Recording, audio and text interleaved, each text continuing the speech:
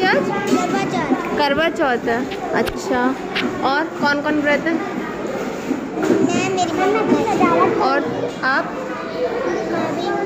तुम भी हो? सही में हो? झूठ बोल रही हो? पानी पिया सुबह से? सुबह से पानी पिया? नहीं पिया? लंच किया? लंच किया? किया लंच? अच्छा तो मतलब करवा चौथ में हम करवा चौथ में हम खाना खा सकते हैं लेकिन ल, आ, मतलब लंच कर सकते हैं लेकिन पानी नहीं पी सकते हैं ना?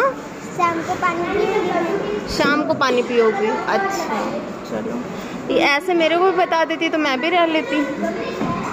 हैं? बताओ। यस नो कुछ बोलोगी?